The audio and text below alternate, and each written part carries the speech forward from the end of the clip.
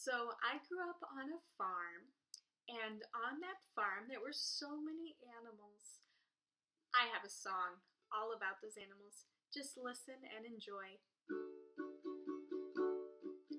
Had a little rooster, and my rooster